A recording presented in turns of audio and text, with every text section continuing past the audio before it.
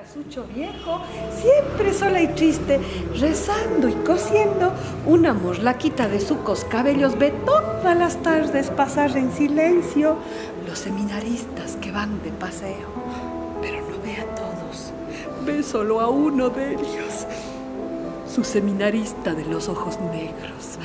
Cada vez que pasa gallardo y esbelto, observa a la niña que pide aquel cuerpo.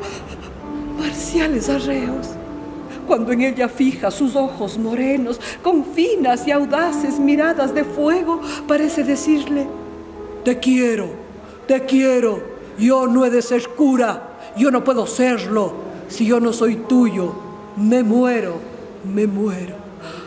A la niña entonces se le oprime el pecho la labor suspende y olvida los rezos y ya vive solo en su pensamiento su seminarista de los ojos negros.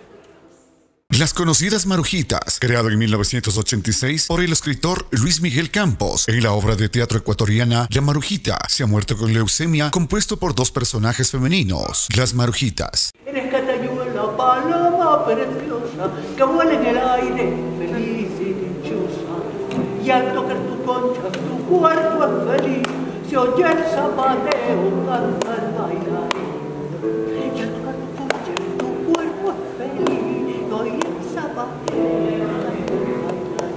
En la actualidad continúan con varios spin-offs y otras piezas relacionadas, representadas por las actrices Elena Torres y Juana Guarderas. Esta se necesita de cartas de amor.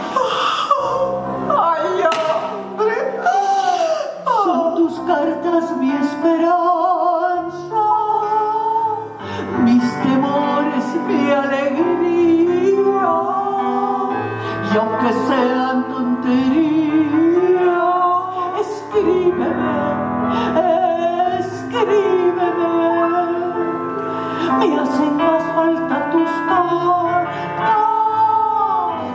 que la misma vida mía. Lo mejor morir sería si algún día me olvidaras.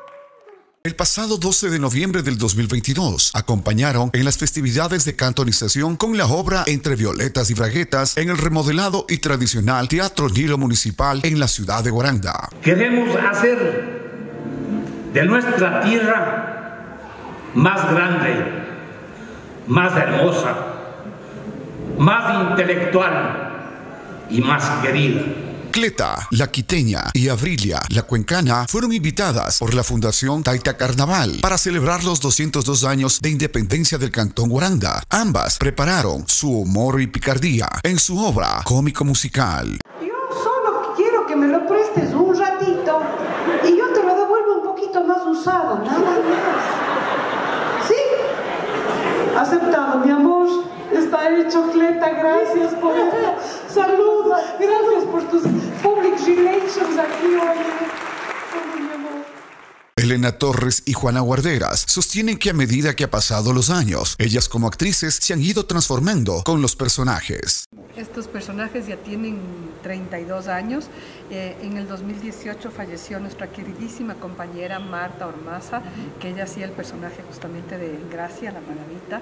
Eh, y bueno, para nosotros que nos, quedó así como un hueco, pero sabemos y sentimos que estos personajes tienen vida, siguen con vida y que el público les quiere y que el público reclama la Es muy importante, ¿no?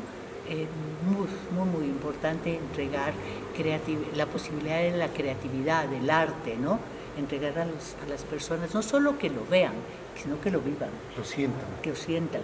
Que sepan que el arte, que la creatividad vayan a hacer luego lo que, hayan, lo que vayan a hacer, pero es parte, lo, llevamos adentro, ¿no? Lo, lo poseemos. Cleta es una mujer fuerte, dominante, la que siempre maneja los datos de alguna manera, mientras que Abrilia es más juguetona, una mujer mayor virgen que imagina mucho y que juega con esa inocencia. Las dos actrices cumplieron 32 años de vida actoral, interpretando estos y más personajes que han recibido muchos reconocimientos en el teatro humorístico nacional. Esto es lo que soñamos y creemos que actividades como estas pueden volvernos a unir Seguramente muchos guarandeños en esta noche se vuelven a recordar de su juventud, de su adolescencia, de su pasado posiblemente, porque aquí está la historia, y que nos vuelva a unir. Miren que la cultura nos está volviendo a unir. El público guarandeño disfrutó de un encuentro cultural con artistas locales que interpretaron la tradicional música ecuatoriana.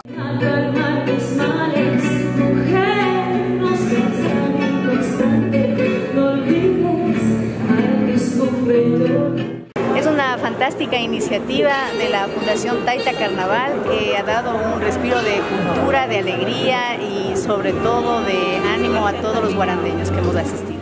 Informó Henry Jiménez Cabrera.